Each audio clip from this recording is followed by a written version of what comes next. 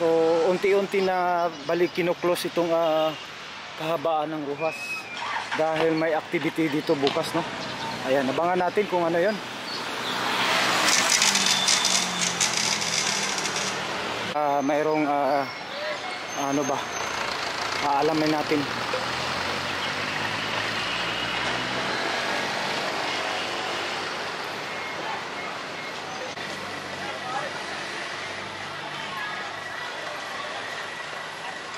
Ayan nun, may mga CCT, CTTMO. So unti-unti itong kino-close na ito galing dun sa may ano, ah, harap ng ano, ah, Coastal Box Culvert Project. Ayan. So may Pasko ano pala dito no. So preparation.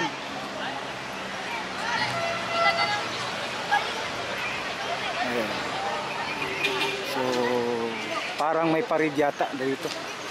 Nakadaan tayo kasi galing tayo sa nag-update tayo dun sa project. Tres pala dito magpaparid s- para sa Pasko Pista. Ayan, so yung tiyo dito kino-close ito ngayon dito. Alas 3. So ito na yung mga ano nila. Mga float